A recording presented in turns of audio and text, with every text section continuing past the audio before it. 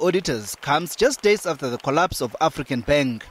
Finance Minister Nhlanhla Nene used the opportunity to remind internal auditors of the importance of their role in providing transparency to the financial markets. He said no financial sector regulatory regime could prevent the failure of all financial institutions. But he suggested tougher sanctions were needed for investors who profited from firms in financial trouble. The National Treasury had already in 2012 begun the process of further strengthening the financial sector oversight, and the events that culminated in the curatorship of the African Bank are a powerful reminder of the urgency of this work.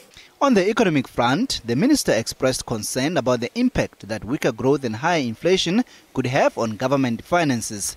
Treasury has put in place an expenditure ceiling of 1 trillion rands in the current fiscal year. Weaker growth outcomes, higher inflation, and rising interest rates will place additional pressures on the fiscal program and our fiscal space. But the expenditure ceiling identified in the last budget remains in place. And if this proves insufficient, additional measures will be considered to meet our fiscal objectives.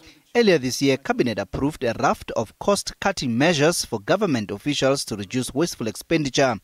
They included cancellation of credit cards for public servants, restrictions on air travel, and the reduction in the use of consultants. Luta Motlogelwa, SABC News, Johannesburg.